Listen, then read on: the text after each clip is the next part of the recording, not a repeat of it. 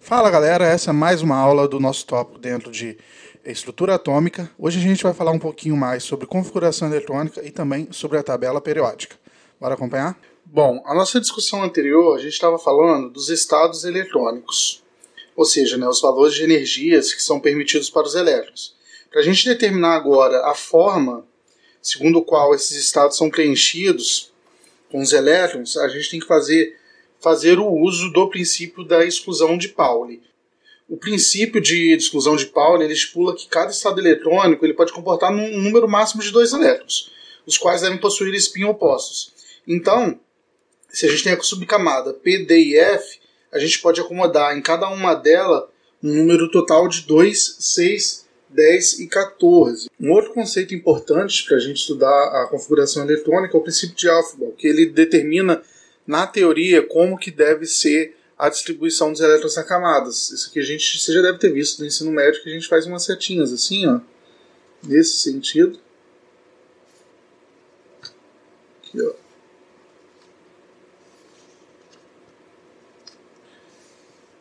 Então, se eu tenho um elétron, se eu tenho um átomo com, com um certo número de elétrons, teoricamente ele vai ter que seguir essa linha aqui para fazer o preenchimento das camadas. Todavia, isso aqui é um modelo teórico. Eu tenho algumas exceções do princípio de Aufbau, que, por exemplo, é o cobre. O cobre, por exemplo, o cobre, por exemplo, ele tem número atômico 29. Ele, teoricamente, pelo princípio de Aufbau, ele deveria ter a seguinte, a seguinte configuração. Um S2, então eu tenho aqui dois elétrons, mais 2, mais 6, mais 2, né? Aqui eu já tenho 10, 12, mais 6, mais 2, 6, mais 2, já tenho aqui 6, 10, 6, 20 e 9. Correto? Então a minha configuração final teria que ser 1S2, 2S2, 2P6, 3S2, 3P6, 3D9, 4S2. Correto? Mas na prática, ao invés de eu ter um 3D9 e 4S2, esses últimos aqui são invertidos. Eu tenho 3S2, 3P6, eu tenho aqui um 3D10 e um 4S1. Ou seja, apesar de isso aqui ser um princípio ele te guiar, ele existe, ele possui algumas exceções, como é o caso do cobre. Um outro assunto importante para a gente ver sobre configuração eletrônica é exatamente o elétron de valência. O que, que o elétron de valência é? O elétron de valência eles são os elétrons da última camada do meu átomo. Por exemplo, eu tenho aqui um magnésio, fiz uma, uma distribuição aqui eletrônica nele, o alumínio e o silício. A minha última casinha aqui, a minha última orbital, ele vai possuir esse número de elétrons aqui. Esse aqui é a minha distribuição de valência. E eu vou ter aqui uma valência 2 para um 3s2, uma valência 3 para um 3s2, 3p1, uma valência 4. A valência é muito importante porque ela vai muitas vezes nos ditar, nos ditar como que o meu, meu elemento ele vai reagir em contato com outro elemento, qual o tipo de ligação que ele vai fazer, como que ele, ele vai interagir com outras forças atômicas. Então, muitas propriedades químicas e físicas dos sólidos elas são baseadas nos elétrons de valência. É, então, e se, e se, a minha camada aqui estiver completamente preenchida, se eu tiver um átomo estável, como a gente chama, né? quando a gente tem uma camada, por exemplo, a gente estava fazendo a nossa distribuição aqui, se a gente tem a camada 2P, 2S2, 2P6 preenchida, a gente fala que o nosso átomo está eletricamente estável. É, esse aqui é o caso, acho que do neônio, até que eu botei aqui embaixo. É, são, às vezes, os grupos dos gases nobres, que a gente vai ver mais para frente. Então, se eu tenho uma camada, um, um, número de elétrons, por exemplo, com a camada preenchida, o número de valência aqui ele é considerado zero. Bom, é isso. Vamos agora para o nosso próximo assunto, que a gente vai analisar um pouquinho essas questões dentro de uma tabela periódica.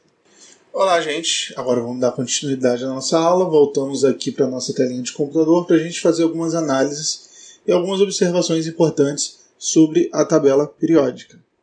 O primeiro ponto a se observar é que os elementos eles estão é, os elementos eles estão posicionados de uma forma tal que todos os elementos de uma mesma coluna, por exemplo, aqui o hidrogênio, lítio, sódio, o boro, alumínio, galho, todos eles que estão numa mesma coluna, ele tem algumas propriedades semelhantes. Isso ocorre principalmente pois todos eles possuem um número de valência que a gente tinha estudado é igual. Por exemplo, o número de valência do carbono é igual ao do silício do germânio. Então isso acaba é, resultando em propriedades semelhantes, não idênticas, mas parecidas.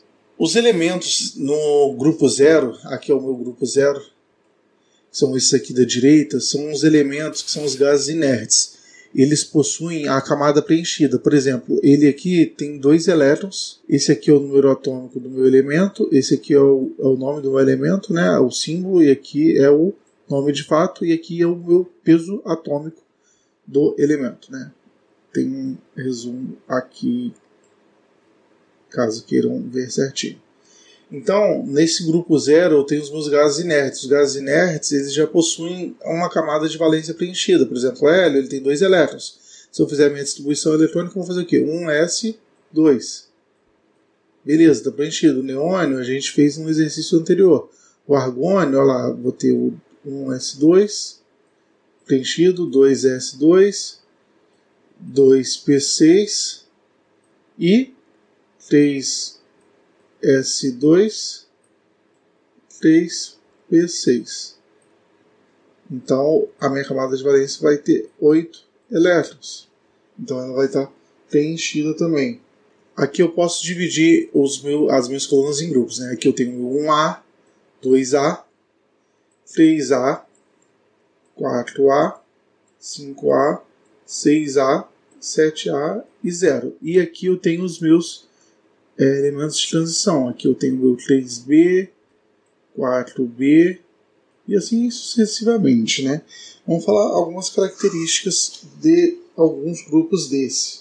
Os grupos 6A e o 7A, eles possuem respectivamente, faltando na distribuição eletrônica deles, um elétron, ou seja, eles têm 7 elétrons, 6 e 7 elétrons na camada de valência. Bom, por outro lado aqui a gente tem o grupo 1A e o 2A, que é o grupo dos metais, metais alcalinos e alcalinos terrosos, que eles têm um e dois elétrons respectivamente, além da camada preenchida. Então, esse, a camada de valência possui um e dois elétrons, além da estabilidade, em contraposição aos 6 e o 7A que a gente mencionou. Os elementos nesses períodos mais longos, que são os grupos 3B e 2B, eles são chamados de metais de transição. Os metais de transição são o 3B e aqui é o meu 2B. Eles possuem o estado eletrônico D pre parcialmente preenchido. E o grupo 3A, 4A e 5A, eles possuem propriedades intermediárias entre os metais e dos ametais. E até tanto que se a gente vier para fazer uma classificação aqui, a ah, quem que é metal e quem que é ametal, a gente considera aqui como metal o alumínio para baixo aqui, o galho também é considerado metal, o índio, estanho, o antimônio, desce aqui para o bismuto e depois o polônio. Né? Aqui é o que a gente considera o grupo dos metais. Daqui eu tenho alguns que a gente chama de intermediário, que vai ser inclusive o boro, o carbono, o silício, o germânio, o arsênio, o selênio e o telúrio. Esse grupo aqui são os intermediários. Vou pintar aqui intermediários. Esses aqui são considerados os metais, essas linhas todas aqui. E do outro lado eu tenho o que eu, sou, o que eu considero os não metais ou a metal. Então, agora zerando aqui a nossa tabelinha, a gente pode ver que a maior parte do, dos, nossos, dos nossos elementos eles se enquadram nos grupos dos metais, né? Algumas vezes esses elementos eles são chamados de eletropositivos o que indica que eles são capazes de ceder alguns elétrons de valência para se tornarem íons carregados positivamente. De forma adicional, os elementos que estão situados do lado direito da tabela, então para cá eu vou possuir aqui os meus elementos eletronegativos. Como que funciona a eletronegatividade do meu material? À medida que eu ando para a direita, à medida que eu ando para a direita e para cima, mais eletronegativo tende a ser o meu material. Obviamente aqui os do grupo zero não entram, então o meu material mais eletronegativo é o flúor e a camada mais a coluna mais eletronegativa é essa e à medida que eu vou deslocando para a direita eu vou tendo elementos mais eletronegativos. A eletronegatividade é uma propriedade muito importante para a gente entender depois como que funcionam algumas ligações entre materiais.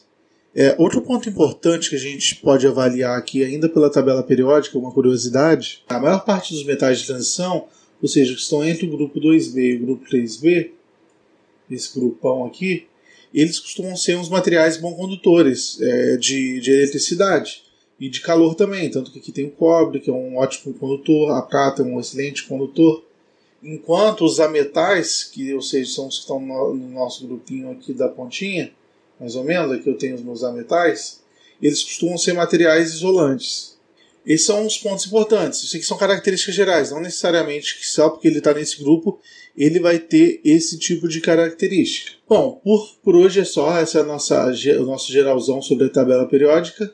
Eu espero que vocês tenham gostado dessa aula. Qualquer dúvida que tenha ficado, pode botar aí embaixo. E aqui em cima também a gente vai colocar uns links de alguns exercícios e exemplos que a gente vai fazer sobre essa última aula que a gente deu. Então, se você está com alguma dúvida, está querendo exercitar o assunto, dá uma conferida no nosso vídeo dos exercícios sobre o tema.